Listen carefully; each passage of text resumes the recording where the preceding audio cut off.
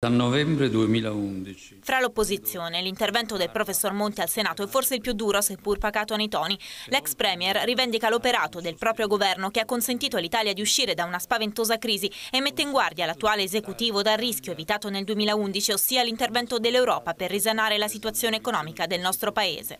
Non è escluso che l'Italia possa dover subire ciò che ha evitato allora, cioè l'umiliazione della Troica.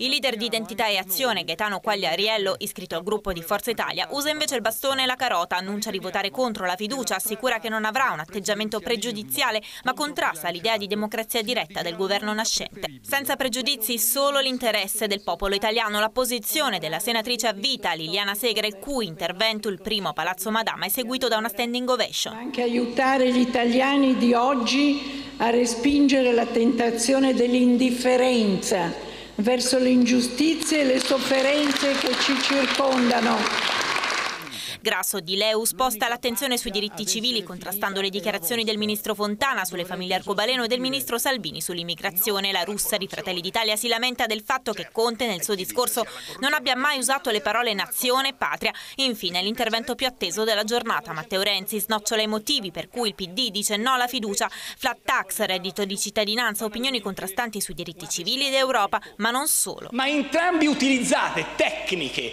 di aggressione verbale in particolar modo sui social network, che mi lasciano perplessi. Vicepresidente Salvini, le chiedo questo. Da padre a padre, lei ha utilizzato un'espressione bella su questo.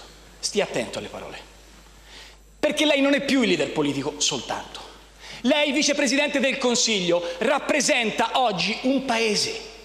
Non possiamo permetterci di animare questioni di crisi diplomatica con la Tunisia quando la Tunisia ha bisogno di un'Italia forte nel Mediterraneo. Non possiamo permetterci di animare polemiche e di creare un clima incendario. Ci dia una mano.